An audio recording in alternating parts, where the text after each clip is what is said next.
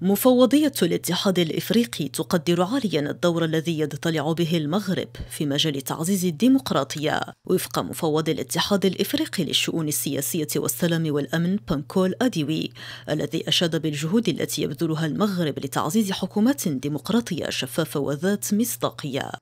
بانكول أديوي وخلال افتتاح النسخة الثالثة للدورة التكوينية المتخصصة لملاحظي الانتخابات الأفارقة بالرباط عقب مباحثاته مع وزير الشؤون الخارجية والتعاون الإفريقي والمغاربة المقيمين بالخارج ناصر بوريطة. أضاف أن الاتحاد عازم كل العزم على تحقيق أهدافه وتطلعاته في مجال الدستورانية والديمقراطية الشاملة.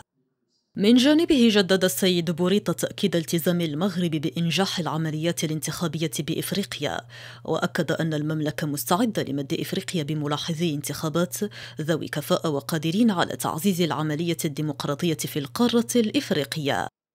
السيد بوريطة ذكر أن 74 مشاركا من 47 بلدا إفريقيا يشاركون في هذه الدورة التكوينية لملاحظي الانتخابات الأفارقة. ومنذ 2022 تاريخ انطلاق هذه الدورة التكوينية المتخصصة استفاد أزيد من 150 خبيرا إفريقيا من التكوين بالمغرب.